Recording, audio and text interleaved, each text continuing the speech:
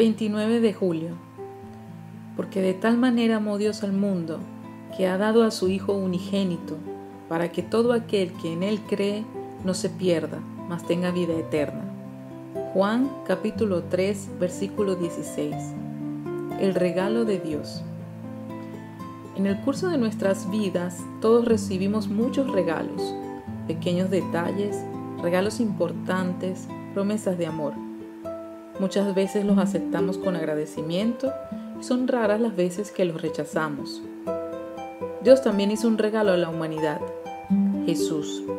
El regalo que Dios le hizo al hombre no es un pequeño detalle, sino más bien una inmensa promesa de amor, una señal tangible del intenso y profundo amor que siente por nosotros, su Hijo Jesucristo. En el curso de los siglos, los hombres han sido llamados a fijar posición con respecto a esta oferta de gracia, aceptarla o rechazarla. La vida de los que la han aceptada ha sido iluminada. Esta propuesta no fue un regalo de tiempos remotos, sino que es más vigente que nunca.